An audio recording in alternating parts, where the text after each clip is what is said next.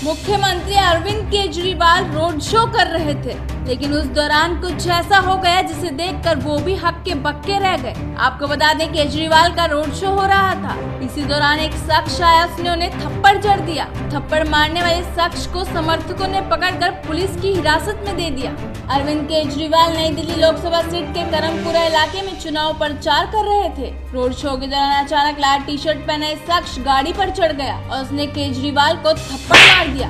इससे पहले कि समर्थक कुछ समझ पाते कि थप्पड़ मारने वाला शख्स भागने लगा, समर्थकों ने उसे पकड़ लिया और पुलिस को सौंप दिया। वहीं थप्पड़ मारने वाले शख्स को पुलिस ने हिरासत में ले लिया है। फ़िलहाल उसकी पहचान नहीं हो पाई। वहीं इस घटना के बाद भी केजरीवाल का चुनाव प्रचार जारी रहा। वहीं आपको बता दें, ऐसा पहली बार नहीं हुआ। 2014 के चुनाव प्रचार में भी एक ऑटो वाले ने थप्पड़ जड़ा था और ये अब दूसरी बार हुआ है, जब एक युवक ने उन्हें थप्पड़ मारा हो। आप इस खबर के बारे में क्या कहेंगे अपनी राय कमेंट कर ज़रूर दीजिएगा। साथ ही आपके अपने चैनल हेडलाइंस इंडिया को सब्सक्राइब ज़रूर कीजिएगा।